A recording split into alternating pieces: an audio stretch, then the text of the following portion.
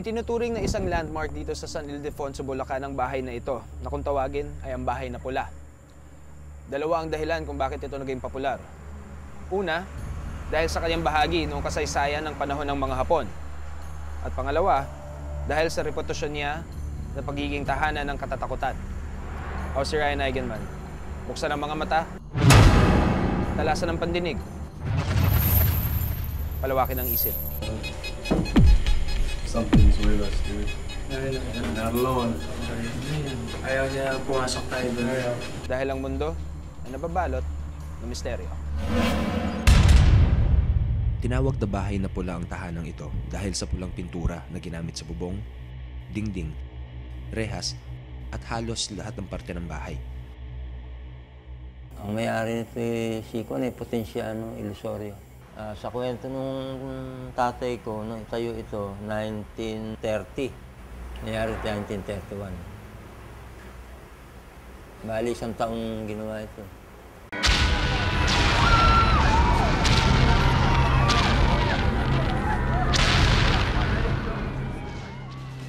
Nang dumating ang mga Hapon noong World War II, napilitan raw umalis ang pamilya Ilusorio dahil ginawa itong garrison ng mga mananakop.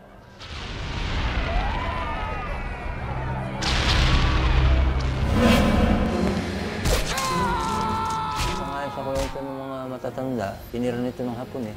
Tapos yung mga hapon, maraming pinatay dito sa lugar na. Eh, doon sa tagal ng pagtitira ko rito, ganyan, nakakita ako ng, ng kadena, nararamdaman mo sa gabi dyan, no? Parang hinihila, gano'n.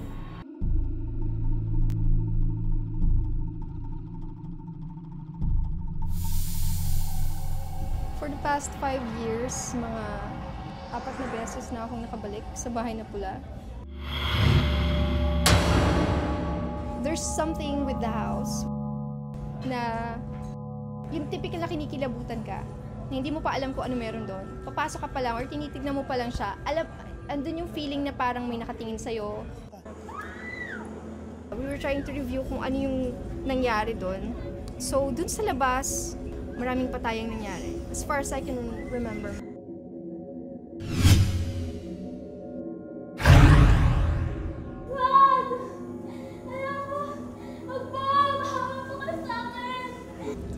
Mga babaeng minamaltrato.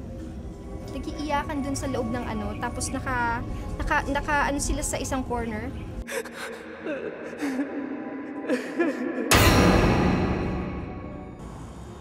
Bawa na po kayo! Bawa na po kayo! Bawa na po kayo! Bawa na po kayo! Maraming mga tao na pinahirapan.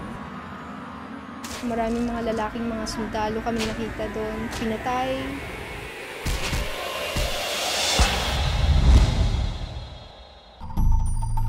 Yung bathtub na yon, apparently, marami dun sa mga babae. Ilulublob muna sila sa tubig para pumayag na magamit ng mga lalaki or to a point na sila ay unconscious na or marami ring mga taong nagpapakamatay na doon. Dahil na rin sa reputasyon nito bilang isang haunted house, maraming programa sa telebisyon na ang dumayo rito. It's a show for QTV din. Um, ano talaga siya, ah, parang, hinahamon nila ako kung, kung matatakot pa ba ako sa bahay na pula, parang ganon. So ginawa nila, linok nila ako dun sa bahay na pula. creepy. Creepy siya kasi. Kasi ang luma niya na, promise. Saka iba amoy.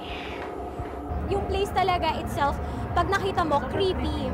Kasi parang yung com- compound siya, tapos malayo yung gate from it, from the house itself. Tapos yung house talaga old na. Tapos if you go to the second floor, mararamdaman mo yung floor niya, umuuga na. Alam niyo, hindi po talaga ako naniniwala sa mga ganitong bagay, pero eh, kasi po nakakarinig.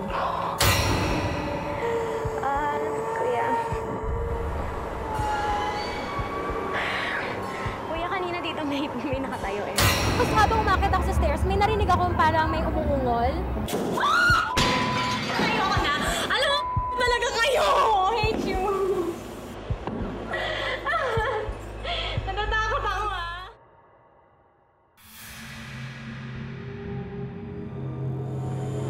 Alex, Rob, Anna, kasama ako. Papasukan namin na yung bahay. So, anything you guys want to say before? Well, th- th- we checked EMF. We're not even outside the house. We're not even inside the house. We're still outside, and it's actually very strong. Una naming inimbisgahan ang kwarto rito sa first floor.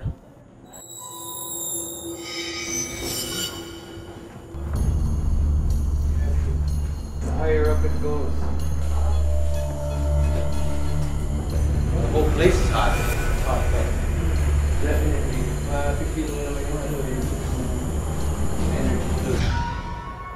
Sa ilalim ng hagdan, isang pinto na papuntang basement ang amin nakita.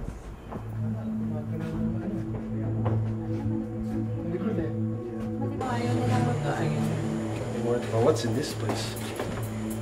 Lex, you want to be doing that? Ilalim ng hagdanan. Go into the basement yun. Wala, wala, wala. Or parang ano. Uh, something's with us, dude. Alone. Ayaw niya pumasok tayo doon. We'll leave it alone. Okay, sorry. No, no pa. Oh, what's in this place? Lex, you want to be doing that? Ilalim ng hagdanan. Go into the basement yun. Wala, wala, wala. Or parang ano. Uh, something's with us, dude. Not alone. Ayaw niya pumasok tayo doon. We'll leave it alone. Okay, sorry. No, pa. Sa sala,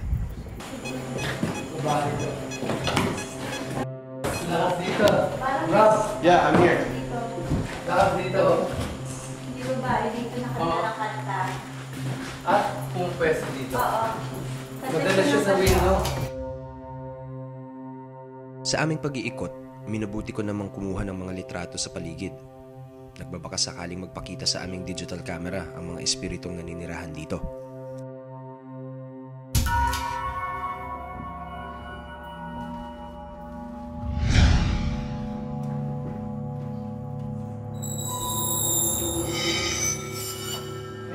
Sa kusina, huminto ang pagtunog ng EMF detector ni Rob. The EMF is not really jumping around, so whatever it is, it's mobile. Yeah. It's not stuck there. At least it doesn't want to be seen. Under. Yeah, it's under. hanggang sa itinapat niya ito sa sahig. Notice there are no power lines here. So it cannot be anything that can be attributed to electricity.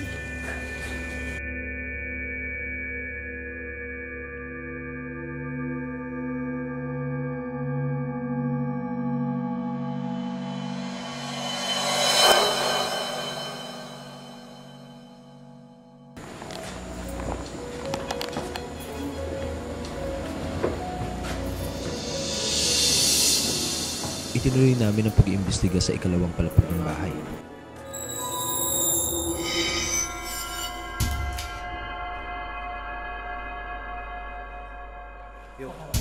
At tuloy din ang pagtaas ng level ng electromagnetic field ayon sa EMF meter ni Rob, lalo na sa sinasabing bathtub. It's right here, dude. Yeah. And it's leaving. My hand feels weird. Yes. And it's try it behind me. Okay, we have another one coming right here. Yeah. This is not the kid. Why don't you take a shot, Ryan, right here? Here. Yeah. A picture. Yeah. Just take a picture of me for all I know.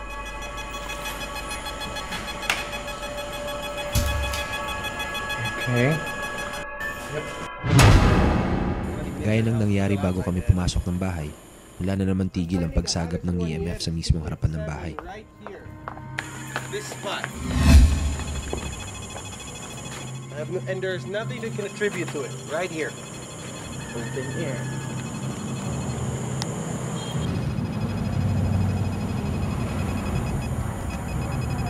It's like right here. Look, watch. Look, look. It's here. If I lower it, it's gone. It's half power. Here. It's roughly the size of me and Alex.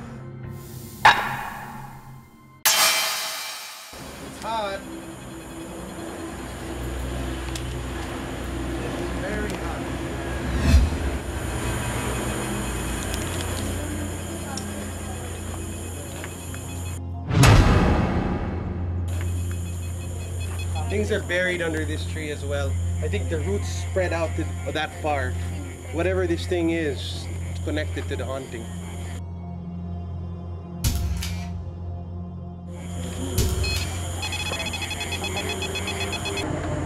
Tapos white lady, madalas lang dito siya.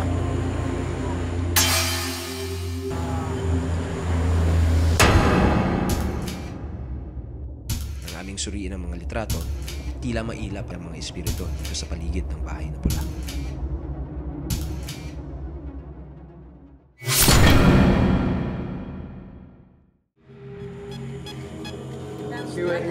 Pagkatapos ikutin ng paranormal experts na sina Alex Angeles, Ana de la Cruz at Rob Rubin ang buong bahay na pula, nakumpirma nila na may mga elementong umanong nagpaparamdam dito. At sa pagkakataong ito, si Adam Reyes naman, isa ring paranormal investigator ang mag-iikot sa sinasabing haunted house. First thing I can comment about, about the house, uh, I wouldn't be surprised if a lot of people would be afraid of this house. Dahil one, one of one thing, no, uh, architecture says a lot. For example, if you have used long vertical pillars, this is actually psy- psychologically, no, ang, ang effect ng vertical pillar design is something which is uh, affronting. It's something which is strong, which uh, induces authority. The floor, where you stand on, can greatly affect how you feel. For example, if you stand here, you're gonna feel as if you're being pushed out of the house, as if the house is repelling you, not because there's something supernatural, but because the floor is tilting backwards. It's gravity which is pulling you back.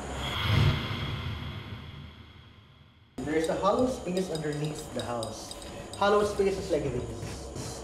Cause uh, feeling of kung minsan being sucked down underneath. Dahil, ang pakiramdam kasi ng house is parang lumulutang ka.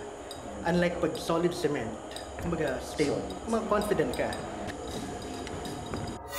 Isang paraan din daw para mapatunayan kung meron o walang kakaibang elemento dito ay sa pamamagitan ng kompas. So, stable. Compass. Compass is stable. If you have multiple edges in the room, not only would the compass be going haywire, your stomach would also be going haywire right now. It's clear. Ininspeksyonan din ni Adam ang maliit na kwarto sa ilalim ng hagdan na ayon sa pagsiyasat ng grupo ni Rob ay di umano'y may malakas na presensya. Hindi entity ang problema dito. It's not the entity. It's the wood. Look at the wood. Yan, yan ang umipit, oh. Huh? It's the wood. It's because the door hinge, you're not supposed to push it. It. Uh, do we have a crowbar? I want to pull this open. Kaya lang, it's too far in. Stuck talaga siya. Ah, kawawang door. Babaklas mo pa to. Pero inside, There's nothing. inside, wala lang. No, it's just... Mm-hmm, mm-hmm. Let's test our theory. Okay, you don't feel anything. Sama. See? Orientation sama. Kahit, kahit ipasok ka. Pasok ka. Mm. See? Pareho pa rin. See? There's no change in the compass. Could do this. Okay, kung meron entity talaga dito. Hoy!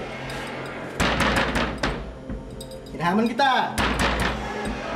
Ano? May problema ka ba dyan? You! Hello?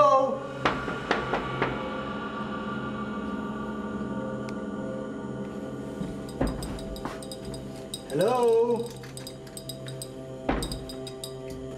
Standard. Narloan. Ipinaliwanag din ni Adam ang maaaring dahilan kung bakit may nakuhang malakas na reading ang EMF scanner ni Rob sa lugar na ito.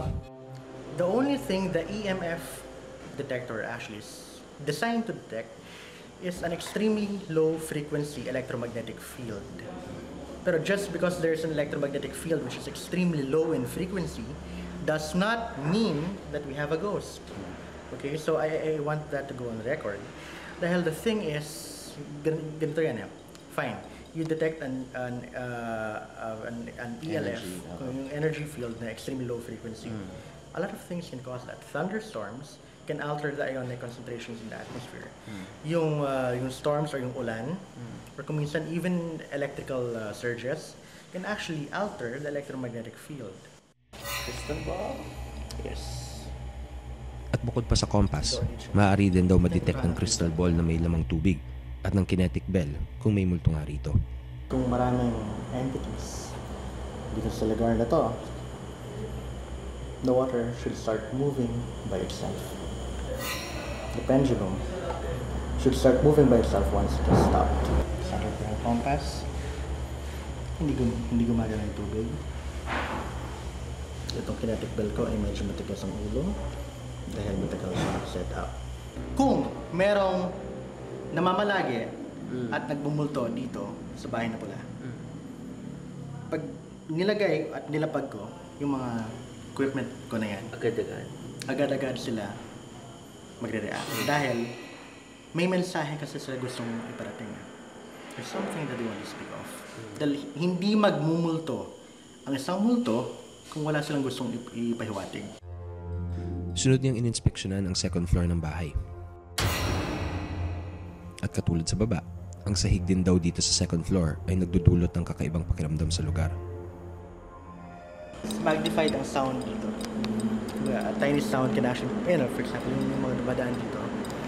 Kaya, kahit malayo sila na nasa highway, kumbaga, na-intensify dito dahil this whole area acts as a sound chamber. Huling pinuntahan ni Adam ang banyo, kung saan di umano'y maraming babae ang pinaslang noong panahon ng hapon. Habang iniinspeksyon ang bathtub gamit ang kompas, biglang nagbago ang direksyon nito. Ibig sabihin ba nito ay may presensya na gustong magparamdam?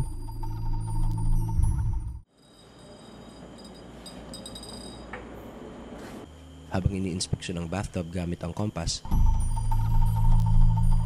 biglang nagbago ang direksyon nito. Ibig sabihin ba nito ay may presensya na gustong magparamdam?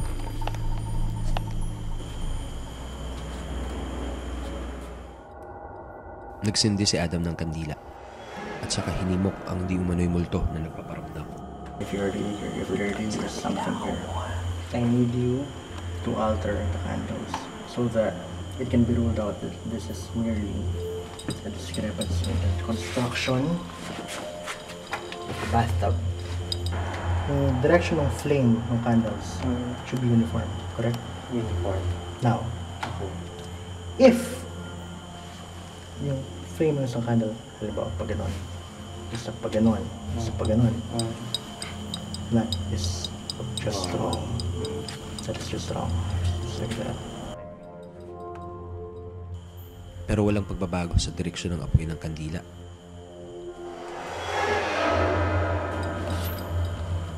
Fire and water. Pag sinabi kasi natin multo, makakausap, mag, ma- mag-i-interact, lalo na pag pinag-usapan is nagbubulto. So kaya nagbago, yung readings mo, lahat ng compass, bawat isang lugar ko na ilagay yung yung isang compass, lahat puro iba lahat puro iba-iba yung readings. All we have here is a magnetic field anomaly. No ghost, no entity, nothing. So, ganyan ang talagang pagsusuri ng paranormal. Hindi basta-basta nagdedeklara na may multo hanggat hindi sinusuri lahat ng mga probabilities o posibilidad. Ipinagpatuloy ng Misteryo Team ang pagsisiyasat sa bahay ng pula.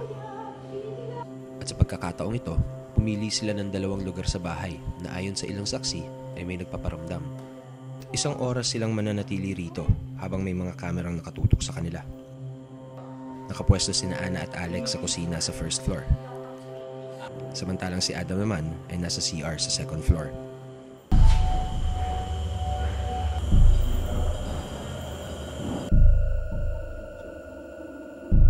Mahigit 30 minuto na ang lumilipas pero walang napansing kakaiba ang paranormal investigator sa kanilang mga kinalalagyan. 2.46 a.m. ng umaga. 2.46 a.m. Wala pa.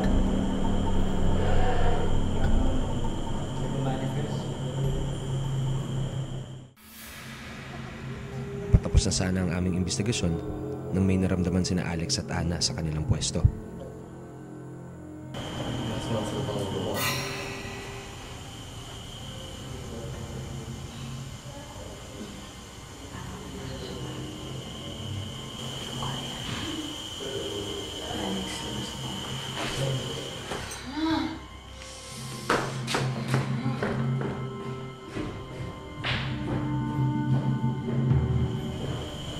May babae lapitan lapit sa akin.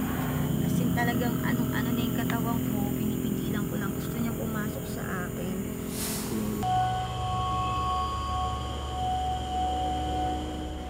At dahil sa banta na nararamdaman ni Ana, nagpa siya na kaming tapusin ang pagsiyasat sa bahay na pula. Iwala na natin sila dyan.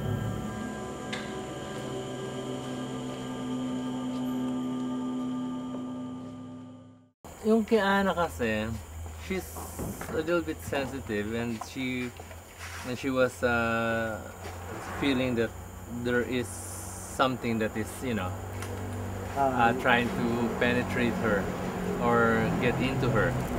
So I told her, ano, papaluin na ba kita? You know, because the point being, point being, on her end, anong nangyari sa kanya, I think she felt the stuffiness of the place.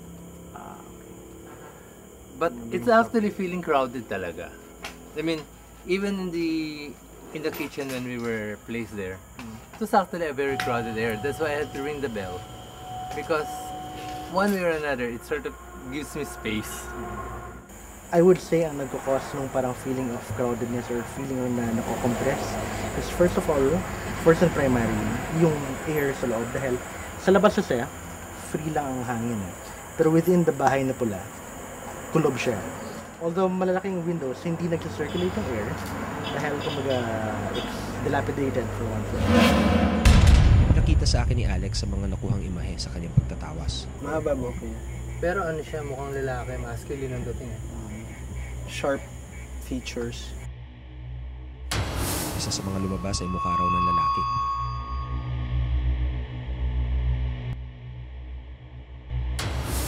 Meron din tatlong magkakaibang mukha.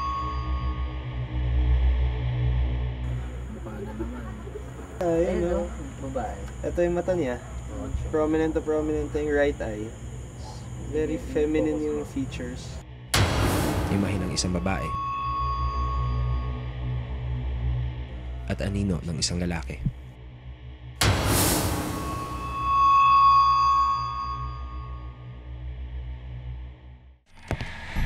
Mitugo, marahas, at napakalungkot ng naging kasaysayan ng bahay na pula. Kahit marami na tayong kwentong narinig, tungkol na marami pang kwento ang nananatiling nakabaon sa mga sulok nito.